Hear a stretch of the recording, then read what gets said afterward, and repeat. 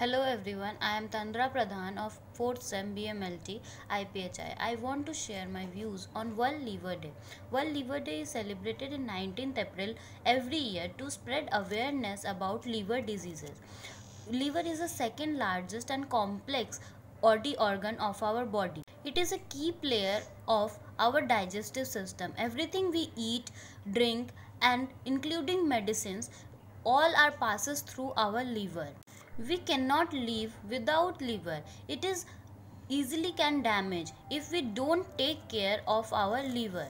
Now the question arises how to take care of our liver? Eat healthy and balanced diet. Uh, uh, exercise regularly. Say no to alcohol smoking and drugs. Eat foods like vegetables fruits and the foods which have high fibers. If we take care of our food, uh, if we take care of our liver, we cannot get any diseases regarding liver and if we do, do not take care of our liver we can get diseases like hepatitis cirrhosis alcoholic liver fatty liver etc so stay healthy and take care of Hello everyone, my name is Hariom Besla. I am a student of Impact Paramedical Health Institute. Today is the liver day. I am telling about functions of liver. Production and excretion of bile. Bile have to break down of fat.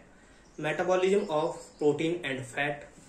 Excretion of like substance, cholesterol, drugs and protein. And thank you everyone. Good morning, myself Tandulkar of IPHI, 4th semester BMLT. Today is World Liver Day. I am going to represent something on it. Whenever liver is unable to do these primary function some many serious condition issues starting to arise. We will discuss about some important condition like hepatitis. Hepatitis. Hepato means liver and titis means inflammation.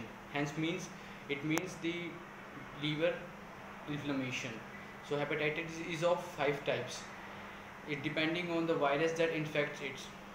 Hepatitis A and E is mainly caused by ingestion of contaminated food and water and hepatitis B, C, D is caused by transmission exposure of infective blood, body fluid, semen and blood.